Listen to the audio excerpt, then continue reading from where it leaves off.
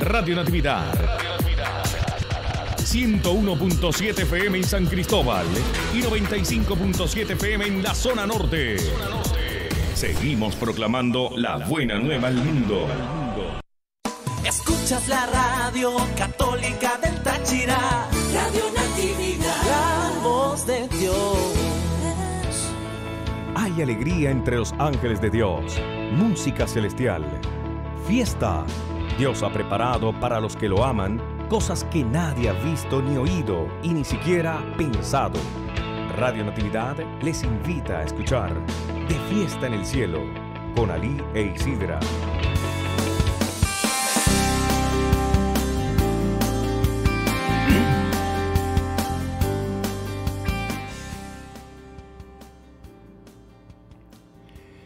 Bajo la bendición del Dios de Israel, con la protección del Espíritu Santo, la dirección de la administradora Virgen María de Jerusalén, a esta hora Ali e Isidra. Sí, señores, Isidra en el cielo y la hija Isidra en, en Brasil, do Brasil. Hoy se me olvidó el nombre de do Brasil. Dios mío. Sí, allá, allá en du Brasil, la hija de, Isidra, la Isidra eh, pequeña. Eh, la alegría de poder decirles a ustedes que este momento es para la gloria de Dios. Abraham, en buena música y buena experiencia de lo que significa la comunicación en este momento, Abraham y Raquel, y toda la gente que está en esa disposición de vivir la alegría de los hijos de Dios. ¿Qué podemos hacer nosotros en este momento? Mm, alegrarnos, gozarnos de lo que el Señor quiere hacer con nosotros. ¿Qué quiere hacer el Señor con nosotros? Mm, pues, eh, primero reconocer, vamos a reconocer que Jesucristo nos ha dado poder de animar, poder, el poder de animar. ¿A quiénes vas a animar? A tus niños para que tengan fe, a tus niños, a esa persona que está al lado suyo, a ese enfermo, a esa persona que necesita animarles y tener esa ternura en el tono de voz. Así que si Cristo les ha dado el poder de animar, si el amor los impulsa a consolar a otros, el amor. Es que cuando hay manifestaciones del Espíritu Santo hay un amor que nace. ¿Para qué? Para ver a los demás como superiores a nosotros. Sí, Señor, eso es una característica de una persona creyente que se deja guiar por el que vino a esta tierra a tomar la limitación del tiempo y el espacio, hacerse uno como nosotros, uno en nosotros, uno por nosotros. Ese es el Hijo de Dios que vino a esta tierra y vino a darnos consuelo y a entusiasmarnos y a animarnos y a enseñarnos porque Él es el Maestro. Si, si todos participamos del mismo espíritu, si tenemos un corazón compasivo, Mm, tenemos que estar llenos de alegría, viviendo todo en armonía, unidos por un mismo amor, por un mismo espíritu y por un mismo propósito. Uy, Señor, un mismo propósito. Por eso estamos aquí para eh, compartir con ustedes este momento. Eh, estamos esperando poder mm, comunicarnos con la eh, Isidra, Isidra, Isidra en Brasil, Scarlett Isidra. Vamos a una pausa y volvemos nuevamente con ustedes.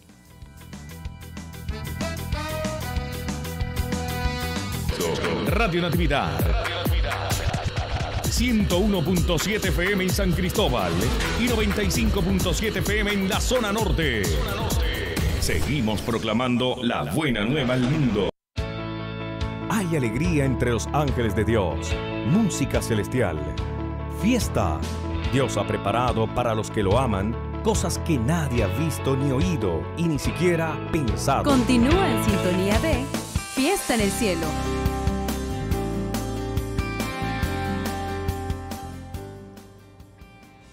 ¿Cómo hacemos nosotros para tener fiesta en nuestro corazón? El cielo es parte de, de lo que el Señor quiere que nosotros tengamos un adelanto de lo que es el cielo. No, hombre, imagínese, podría imaginarse usted calles de oro, mar de cristal, por, por todos esos sitios va a ir usted a caminar. Y, la, ¿Y qué dice el Señor? ¿Qué dice el Señor? Me voy, dijo así, esta es la promesa del Señor, me voy a prepararles un lugar. Oiga, me voy a prepararles un lugar para que donde yo esté, estén también ustedes. Oye, eso no, no podemos nosotros mm, imaginar que Dios en su inmenso amor nos envió a Jesucristo y Jesucristo salió fiador. No, juegue, un fiador. Eso es tremendo cuando una persona eh, se, se, encarga de una deuda y, hay que pagar esa deuda. Dios mío, Señor Jesús. Y Jesucristo eh, se ofreció como sacrificio vivo, santo, agradable a Dios. Por eso no siga la corriente del mundo en que vivimos. Transfórmense por la renovación de la mente renovación de la mente para que usted pueda saber lo que es bueno, perfecto, agradable a Dios. Cuando tú comienzas a tener una experiencia de lo que significa el sacrificio de Jesucristo, su corazón cambia totalmente. ¿Por qué? Porque de verdad se estremece uno del dolor, del sufrimiento de Jesucristo. ¿Cómo podemos nosotros entender que ese sacrificio fue la paga de el precio de pasearse usted por el cielo. Dios mío, Señor, con méritos los consiguió mi Señor Jesucristo. Así que, ¿qué es lo que tenemos que aprender del Señor? Mm, dice en Filipenses capítulo 2, versículo 3, no hagan nada por rivalidad o por orgullo, sino con humildad, con humildad, y que cada uno considere a los demás como mejores que, que a él mismo. Ver a los demás como mejores, eso nos cuesta mucho porque la soberbia, eh, la prepotencia y todo lo que se ha anidado en nuestro corazón, porque el mal vino a robar, el, reino de las tinieblas a robar, matar y destruir. El enemigo vino a eso, a destruir y instaló la soberbia en el corazón de, de todos. Y entonces, ¿qué tenemos que hacer? Oye, Dios mío, no hagan nada por rivalidad o por orgullo, sino con humildad y que cada uno considere a los demás como mejores que él mismo. Ninguno busque únicamente su propio bien, sino también el bien de otros. Entonces, para eso nosotros necesitamos estar con una experiencia como la que tiene eh, Saulo, que se convierte en Paulo y es mm, él cambia su manera de ser. Oye, Dios mío, cuántas eh, conocimientos, conocimientos de todo lo que significaba. Imagínese usted cuántas lecciones en el Antiguo Testamento y todo eso. Eh, y, se jactaba de ser de la escuela de Gamaliel. Y todo esto para después mm, escribir con, con experiencias como esta, la armonía y la humildad en capítulo 2 de Filipenses. Y dice en el versículo 9, en 8, se humilló a sí mismo haciéndose obediente hasta la muerte, hasta la muerte en la cruz. Habla del Señor, ¿no? Aunque existía con él mismo ser de Dios, no se aferró a su humildad con él. O sea, él era Dios, Jesucristo es Dios, pero no se aferró a su verdad con Dios, sino que mire lo que escribe sino que renunció a lo que era suyo y tomó naturaleza de siervo, haciéndose como, como todos los hombres y presentándose como un hombre cualquiera. Se humilló a sí mismo, haciéndose obediente hasta la muerte, hasta la muerte en la cruz. Se humilló. ¿Cómo podemos hacer para nosotros ser humildes por eso necesito decirle, Señor Jesús, te doy permiso que entres en mi vida para que ya no sea yo, sino tú en mí, tú en mí. Y, si, y entonces, si tú eres en, tú en mí, yo puedo entender a los demás, yo puedo comprender, yo puedo eh, mm, recordar lo que significa el precio que pagó el Señor para que yo pueda aspirar a ir a las calles de oro, mar de cristal. Por esas calles yo he de caminar, dice el canto, que lo decimos muchas veces con mucha alegría, de saber que el Señor quiere hacer cosas grandes en nosotros. ¿Y qué es lo que el Señor mm, recibe? Por eso dice, continúa capitando, a capítulo 2, el versículo 9, por eso Dios le dio el más alto honor, el más excelente de todos los nombres para que ante ese nombre concedido a Jesús doblen todos, todos, todos las rodillas. Todos doblen las rodillas. En el cielo, en la tierra y debajo de la tierra. y todos reconozcan que Jesucristo es Señor para la gloria de Dios Padre. Estamos esperando poder comunicarnos con la, la señora eh, Isidra, sí señores, allá en, ¿dónde? En Espíritu Santo, ¿a dónde? ¿A dónde? Allá en Brasil.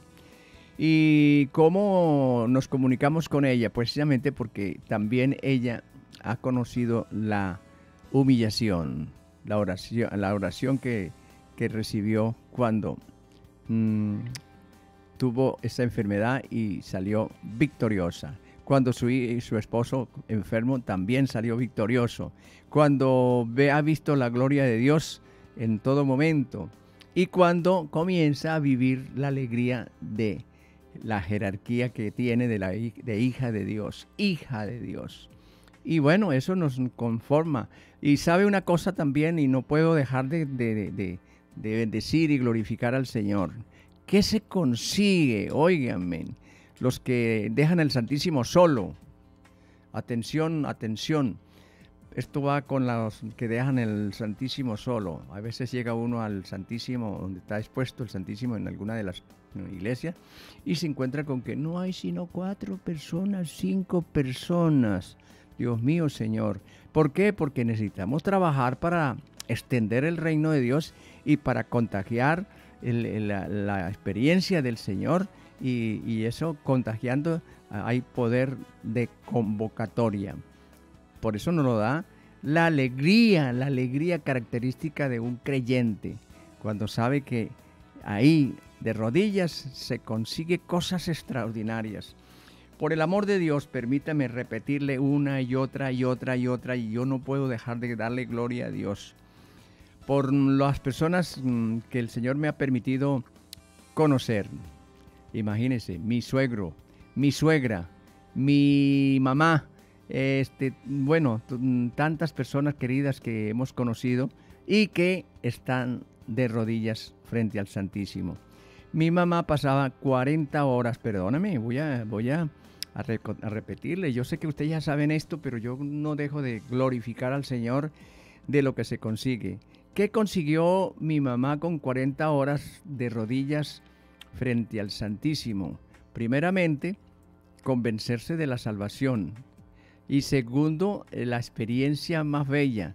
Eh, ella pensando en, la preocupación de la fe mía y ella me vio con la experiencia que el Señor nos regaló en la eh, renovación, con la, palabra de Dios, la renovación carismática católica en esta diócesis. Qué experiencia más bella pudimos tener, los que recordamos tantos momentos mm, bellos.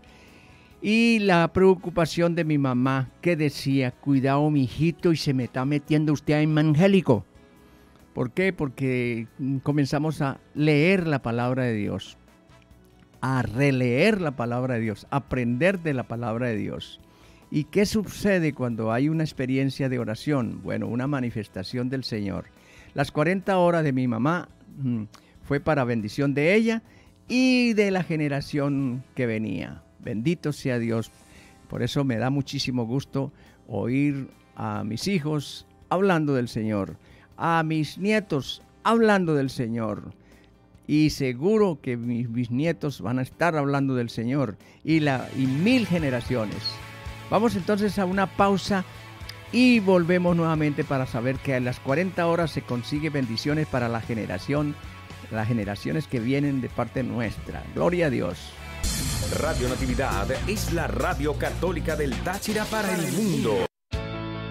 Hay alegría entre los ángeles de Dios, música celestial, fiesta. Dios ha preparado para los que lo aman cosas que nadie ha visto ni oído y ni siquiera pensado.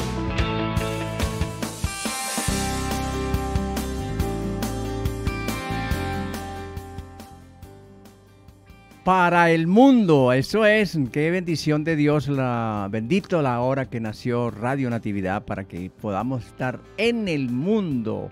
Vamos entonces al mundo, vamos a Brasil. Enseguida vamos a Brasil y queremos estar allá con mi niña linda que se llama Isidra. Aleluya. Pase adelante, estás ahí, mi amor. Buenos días. Buenos días, Dios te bendiga. Buenos días. Bendición. Dios te bendiga, mi amor, te quiero mucho. Dios la bendiga y te bendiga y bendiga a tu esposo y a tus hijos. Y bueno, bendito sea Dios.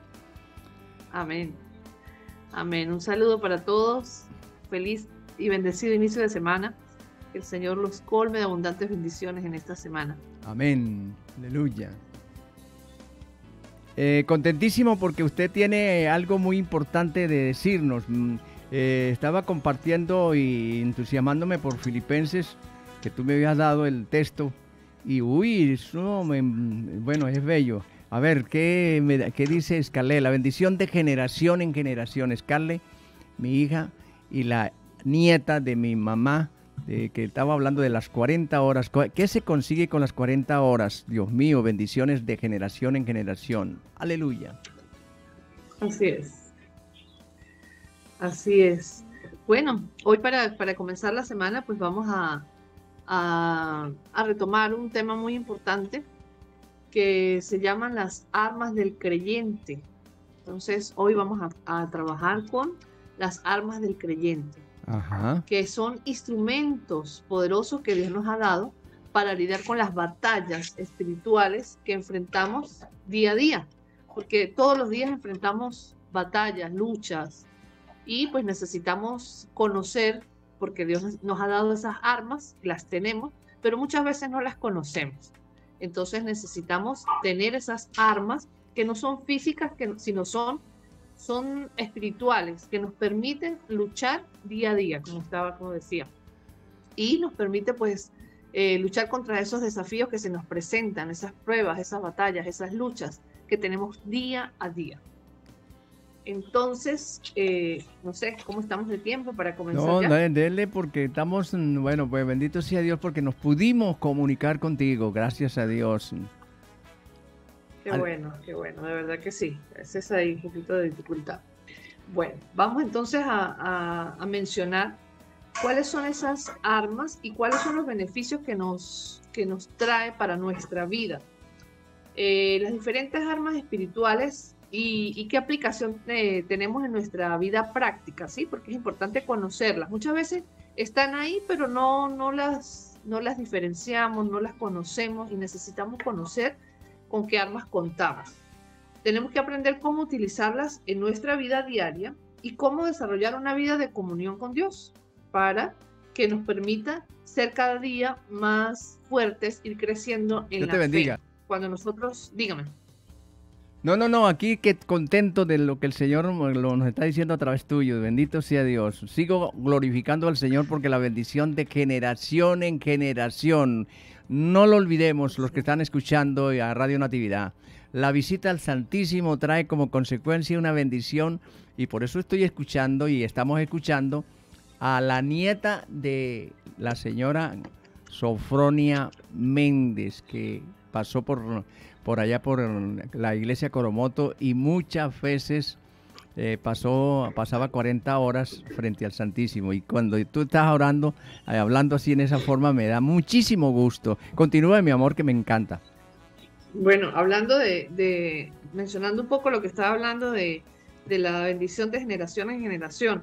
En Isaías, en el capítulo 59, en el versículo 21, nos dice, yo hago una alianza con ustedes y les prometo que mi poder, que mi poder y las enseñanzas que les he dado no se apartarán jamás de ustedes ni de sus descendientes por toda la eternidad. ¡Ay, ¿Qué qué, ese? lindo! ¡Aleluya! Ese está en Isaías, para Sí. que tomemos nota, Isaías 59, en el Isaías versículo 50. 21. Voy a repetirlo rápidamente. Sí, para repítalo, mi amor, Dice, que es muy lindo. A ver. dice, yo hago, el Señor dice, yo hago una alianza con ustedes y les prometo que mi poder y las enseñanzas que les he dado no se apartarán jamás de ustedes ni de sus descendientes por toda la eternidad.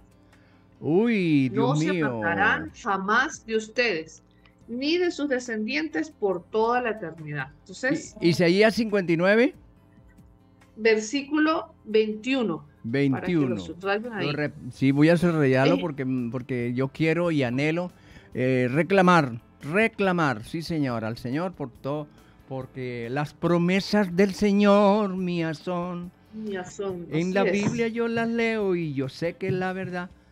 Isaías 50. Las pro- Isaías 59 en el versículo 21. Uy, Entonces. Es bello ese texto, es una promesa del Señor. ¿sí? Esa, eso que estamos hablando de la bendición de generación en generación. Mire, mire, es mire. importante que nuestra Biblia la subrayemos para que tengamos esa palabra que nos llega, que toca nuestro corazón. Busquemos y la subrayemos para que La- tengamos esas promesas y conozcamos. La Biblia es para, para estudiarla, para trabajarla, para marcarla, para, para Pa- que aprendamos para- de ella. para un escribir- cuaderno. Para escribir en un cuadernito, escribirla, para ponerla eh, allá en, la, en el espejo, don, para yo repetirla. en la nevera. Hoy, hoy la voy a en la- repetir. Mire, esta promesa, usted por qué tiene que ir al Santísimo para que tenga esa experiencia de la bendición de generación en generación. Y yo la he visto, yo me da mucho gusto. Hermano, perdóneme que insista tanto en esto, pero eh, con mi corazón quiero que ustedes vean la gloria de Dios. Eh, yo hago una alianza con ustedes, eso lo habla el Padre del cielo. Por eso necesito limpiar mi mente para que el Padre piense, el Hijo hable y el Espíritu Santo actúe. Mira esto. Mm, Repítelo porque en, en voz tuya me encanta. A ver.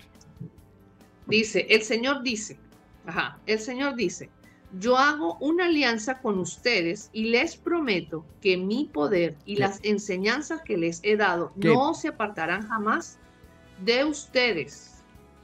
Las enseñanzas que les he dado no se apartarán jamás de ustedes ni de sus descendientes por toda la eternidad, por toda la eternidad. Entonces, es una promesa del Señor que nosotros necesitamos subrayar y tener muy pendiente.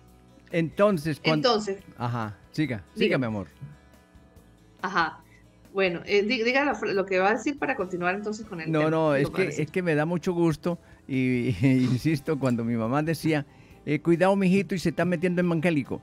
Pero cuando hay eh, la experiencia de la manifestación del Espíritu Santo en la iglesia, la renovación de la iglesia, la manifestación del Espíritu Santo, la, la vivencia de la, de la alegría de, de los que lamentablemente estaban en pre-Vaticano y los que eh, comenzaron a tener la experiencia del post-Vaticano, manifestaciones sobrenaturales del Espíritu Santo que volvían nuevamente a la, a la iglesia de los primeros tiempos. ¿Y, y qué se hacía con, la, con esa iglesia? Precisamente la manifestación de la palabra de Dios en el corazón. Entonces, cuando se apropian de eso, hay manifestaciones de feedback. Después que mi mamá me decía, es cuidado, mijito, y se está metiendo en evangélico. Entonces resulta que yo le agarraba un buen día, mm, yo dejé de, de- de cómo hacer para que, para que haya feedback. Eh, discúlpeme que yo use esa palabra, pero es que eso eh, tenía que ser. Y le invité a orar a mi mamá. Vamos a hacer oración, mamá. Y comenzamos a hacer oración y entonces a mí yo seguí eh, mm, viviendo esa experiencia de oración con mi mamá y orando do- los dos eh, un día en eh, Espíritu Santo, ven Espíritu Santo sobre mi mamá, ven Espíritu Santo, inquieta Espíritu Santo a mi mamá en, en la palabra. Qué sorpresa más grande que dos semanas, tres semanas, un mes, no sé cuánto. Llegó mi mamá muy contenta. Mire, mi hijito, lo que compré. Y era una Biblia con letra grande. Y comenzó la experiencia de mi mamá con la palabra de Dios. Y ahí hubo en esa señora de oración la, manifestación de Vaticano II, la manifestación de, en la iglesia de lo que el Espíritu Santo está haciendo, sigue haciendo para la gloria de Dios, para la extensión del reino de Dios. Así es, así es. Entonces nosotros necesitamos eh, conocer y aprender la palabra de Dios. Nosotros escuchamos siempre durante la Eucaristía que nos comparte la palabra de Dios. Eso es lo que escuchamos. Necesitamos pedirle al Señor que abra nuestros oídos, tanto físicos como espirituales, para entender lo que el Señor nos quiere decir a través de su palabra. Siempre que vamos a la Eucaristía, que nos lee la palabra de Dios. Y, y- Pero nosotros muchas veces nos quedamos solamente con lo que recibimos, tal vez domingo a domingo, ¿sí? Pero nosotros necesitamos buscar el pan diario, ya sea a través del celular, a través de internet, a tra- comprar el pan diario de la palabra, y todos los días viene la liturgia donde nos enseña eh, una lectura, la, palabra, la primera lectura, un salmo, en las semanas eh, el Evangelio, ¿sí? Y el domingo es que tenemos segunda lectura. Ah, es así, ¿no? Sí, señor. Entonces, pero, pero necesitamos todos los días recibir la palabra de Dios y conocer poco a poco ir aprendiendo la palabra de Dios. Para eso también están las escuelitas. poco a poco, gracias por las escuelitas, a los jueves a las 4 de la tarde en carrera 10. Mm, bueno, pero eh, mi mamá, escuche con esto de mi mamá, perdónenme, pero es que es una emoción. Eh, se fue al cielo con, se, se, había aprendido de la palabra de Dios, cinco salmos memorizó mi mamá y una emoción muy grande por la palabra de Dios. Y yo, no, yo estoy seguro que ella podía saborear es, la palabra del Señor llegó a mi corazón, la palabra del Señor mi vida transformó. Vamos entonces a una pausa mejor que cante aquí un buen instrumento de Dios para la gloria de Dios.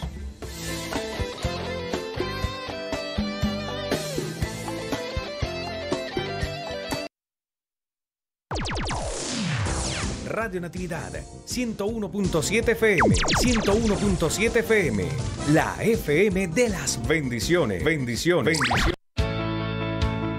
Hay más alegría en el cielo por un pecador que se arrepiente que por 99 justos.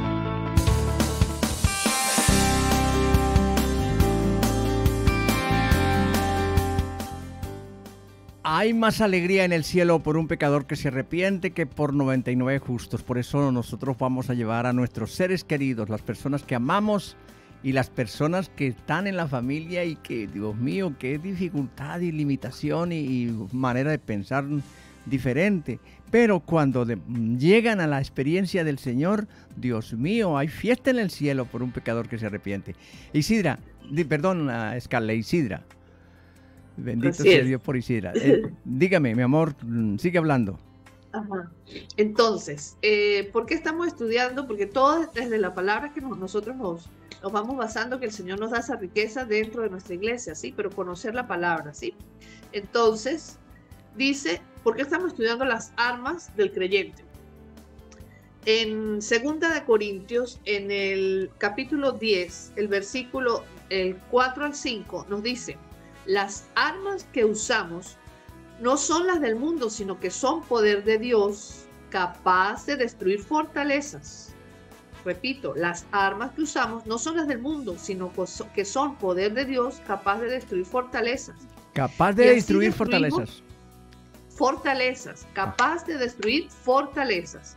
Y así destruimos las acusaciones y toda altanería que pretende impedir que se conozca a Dios todo pensamiento humano lo sometemos a Cristo para que lo obedezca a Él. Amén. Así es. Entonces, por eso es que estamos estudiando las armas del creyente, porque la palabra lo dice, las armas que usamos no son las del mundo, sino que son poder de Dios, capaz de destruir fortalezas. Entonces, ¿cuáles serían esas armas? ¿Y cuáles son esos beneficios? También importante de usar estas armas. los beneficios que nos trae aprender a usar estas armas. Eh, nos da crecimiento espiritual, nos ayuda a tener crecimiento espiritual. En la medida que nosotros vamos conociendo la palabra de Dios, vamos buscando del Señor, buscamos, eh, ya vivimos la Eucaristía de otra manera, porque nosotros ya lo, lo, hacemos con reverencia. Entendemos lo que estamos haciendo con, reverencia. Exactamente, estamos entonces ya con un fervor diferente entonces, eso nos ayuda a ir creciendo en la fe, porque nosotros no nos podemos quedar como los bebés, ¿sí? Los bebés pasan por el proceso de que solamente toman todo líquido y después, este, ayer estaba escuchando a mi cuñada que ella decía, no, y, y los bebés entonces ya el pediatra les mandó a comer una sopita que le colocara una papita y después con papita y zanahoria no sé qué, y entonces va en un proceso, ¿verdad? Y van aprendiendo a comer sólido y papilla y, ensaladita y no sé qué, y cada, cosita que se le va dando al niño, y eso lo va fortaleciendo en su, va creciendo y fortaleciéndose. Así somos nosotros en la fe. No nos podemos quedar con cositas líquidas, vamos a decirlo así, sino que vamos aprendiendo a comer más sólido. Por eso vamos creciendo, teniendo un crecimiento espiritual. No nos podemos quedar con lo mismo. Eh, ¿Qué nos ayuda también? ¿Qué otro beneficio nos ayudaría? El, la protección contra el enemigo, que es una batalla constante y nosotros mismos también, no solamente a veces decimos todo, no es que el enemigo es que puso pensamientos en mí, a veces nosotros mismos creamos fortalezas en nuestra mente que nos, nos impiden llegar al conocimiento de la verdad. La paz y el gozo en el Señor. Ese, ese, esas armas nos permiten tener como beneficio la paz y el gozo en el Señor. Entonces, vamos a entrar en materia. ¿Cuál sería, cuál sería la primera arma? Eh, Padrecito, usted tenía los textos. Eh, la primera arma sería el, el, el, poder del nombre de Jesús. Hay poder. ¿Tiene un texto por ahí? Sí, hay poder, hay poder en, el nombre de Jesús. En, el nombre de Jesús, porque justamente porque nosotros necesitamos tener esa experiencia con, con el nombre que está sobre todo nombre. Eh, ay, ay, ay, ay, eh, me agarró. Eh, fue, Ajá, bueno, 16, yo, lo tengo aquí entonces. Sería Filipenses, Filipenses 2, del 9 al 11. Filipenses. ¿Lo consiguió? Sí, sí, sí, del 9 al 11. por, por, eso Dios le dio el más alto honor y el más excelente de todos los nombres, para que ante ese nombre concedido a Jesús, doblen todos, doblen todas las rodillas en el cielo, en la tierra y debajo de la tierra. Y todos reconozcan que Jesucristo es el Señor para gloria de Dios Padre. Palabra de Dios. Entonces, ¿cómo? Ajá. Cuando nosotros... Ajá. ¿Qué es lo que nosotros necesitamos en este momento? Tener esa confianza y esa seguridad que ante el nombre, mire esto, por eso Dios le dio el más alto honor y el más excelente de todos los nombres, para que ante ese nombre concedido a Jesús doblen todas las rodillas, en el cielo, en la tierra, debajo de la tierra, y todos reconozcan que Jesucristo es el Señor para gloria de Dios Padre. Por eso yo le digo al Señor, Señor Jesús, te doy permiso que entres en mi vida para que ya no sea yo, sino tú en mí. Scarlett. Amén. Así es, amén. Entonces, reconocer que el nombre de Jesucristo tiene poder. Vamos a ver también el texto de San Juan en el capítulo 16, versículo 24. San Juan Ajá. 16, en el capítulo, eh, capítulo 16, perdón, versículo 24. Hasta ahora ustedes, hasta ahora, hasta ahora ustedes no me han pedido nada en, en mi nombre, dice el Señor, ¿no? Hasta ahora ustedes no me han pedido nada en mi nombre. Pidan y recibirán para que su alegría sea completa. Pidan y recibirán. Y yo creo que la petición, más que tener cosas, es que yo pueda dejarme guiar por el Señor, que el Espíritu de Dios esté sobre mí para que yo pueda entender, comprender y, saber que hay un poder muy grande que debe, puede estar en mí cuando yo le doy la entrada a ese poder. Señor Jesucristo, te reconozco como mi Señor, te doy permiso que entres en mi vida para que ya no sea yo, sino tú en mí. Scarlett. Y es, así es, exactamente. Entonces, Quiere decir que no existe una autoridad, una autoridad mayor que el nombre de Jesús. Ante ese nombre, todo, todo espíritu maligno tiene que obedecer. Todo pensamiento contrario tiene que obedecer. Cuando nosotros, eh, nuestra mente llega un pensamiento que nos hace daño, que nos afecta, nosotros tenemos que decir el nombre de Jesucristo tiene poder, nosotros declarar así como usted dice siempre, que decimos, me cubro con la sangre de Cristo, me cubro con la sangre de Cristo. Eh, yo creo en el nombre de Jesucristo, el nombre de Jesús tiene poder y ante el nombre de Jesús toda rodilla se dobla. Entonces nosotros declarar y eso es lo que hace que nosotros, todo pensamiento huya de nuestra mente y nosotros podamos vencer todas las batallas que, que tenemos todos los días, ¿sí? Entonces no existe una autoridad mayor que el nombre de Jesús. Ante ese nombre todo todo se somete. Entonces, busquemos también la segunda arma poderosa que el Señor nos regala es la oración, la oración. Entonces vamos a buscar en Mateo Mateo 6, yo por ahí se lo di, padrecito, Mateo 6, eh, en el versículo Es, ese Mateo... del 6 al 8. Usted, usted dice mucho ese texto. Sí, lo uso porque de verdad tiene, tiene un mensaje para mí. Entra en tu cuarto. Entra en tu cuarto. Cierra la puerta. Eso, esa la traducción quiere decir, deja el celular. Deja el celular. No, no lleves celular para el cuarto donde va a estar en oración. Entra en tu cuarto, cierra la puerta, ora al Padre que está en lo secreto. Ora al Padre que está en lo secreto. Por supuesto, en el nombre de mi Señor Jesucristo, porque nadie va al Padre sino por el Hijo. Entonces, eh, entra en tu cuarto, cierra la puerta, ora al Padre que está en lo secreto y el Padre que está en lo secreto te premiará en público. ¿Cómo te premia en público? Cuando tú tienes docilidad para que el Espíritu Santo que está en usted por el bautismo, por la confirmación, por la primera comunión, por los sacramentos que ha recibido, usted va a tener una manifestación del Espíritu Santo y entonces va a entender por qué cantamos esta alegría que yo siento en mi ser. Es el poder de Dios, es el poder de Dios, una alegría que se manifiesta en, y, que, y que no la, y la da el- la embriaguez del Espíritu Santo, la embriaguez en el Espíritu Santo. Por eso, mm, busque de Dios, busque la oportunidad de ir al Santísimo y estar haciendo silencio en la mente, cubriéndose con la sangre del Cristo Jesús, para que usted pueda entrar en el silencio del Señor. Y la sorpresa suya es que un buen día escuche al Señor que le habla dentro suyo, porque dentro suyo está Dios, aleluya. Y sorpréndase porque va, va- a haber una manifestación que usted va a decir, Dios mío, Señor, ¿cómo me he perdido yo esto por estar con mi razonamiento?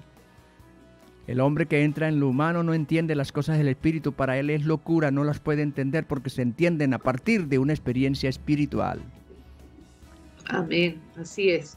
Entonces, entonces, ¿qué nos dice? ¿Cómo es lo de la oración? Nosotros dice, pero tú cuando ores, entra en tu cuarto, cierra la puerta y ora a tu Padre en secreto. Y tu Padre que ve lo secreto te premiará en público. Te premiará en público. ¿Cómo te em- premia en público, Scarlett? Dímelo tú para que me guste, me gusta más cuando tú lo dices. te premiaría, te premiará en público. Cuando, cuando nosotros, el Señor nos coloca como señal de bendición, eh, cuando va obrando en nuestras vidas, cuando se va manifestando en nuestras vidas, las personas ya empiezan a notar y dicen, pero hay algo en usted que es diferente, hay algo que, que lo hace usted diferente, usted se distingue como una persona distinta. ¿Qué tiene? que hay? Yo siento que hay algo en usted. Entonces eso, eso es lo que es la bendición del Señor cuando se manifiesta en nosotros, cuando vemos la bendición de- del Señor en nuestros hijos, cuando vemos esa manifestación en nuestra familia. Entonces, la gente dice, puede decir, no, eso es suerte, no, no es suerte, es la presencia y la manifestación de Dios. Entonces, tú empiezas a orar y el Señor se va a manifestar en los tuyos, porque tú estás buscando la bendición para los tuyos. Pero Es- alguien tiene que empezar, alguien tiene que dar ese paso.